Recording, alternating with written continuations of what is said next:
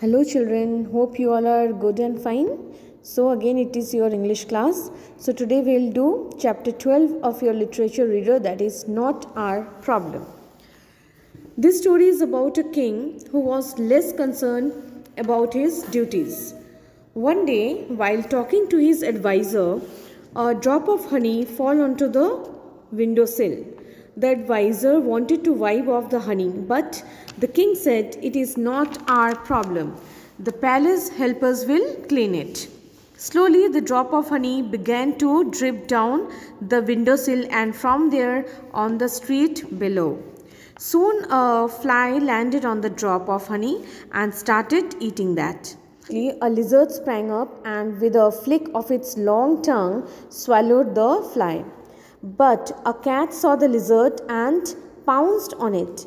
Then a dog sprang forward and attacked the cat. The adviser said, The king, that there seems to be a cat and dog fight in the street. The king said, Never mind, it is not our problem.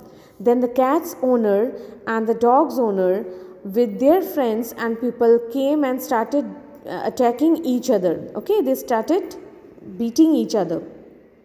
Again, the adviser told the king about the fight, and the king said, It's not our problem.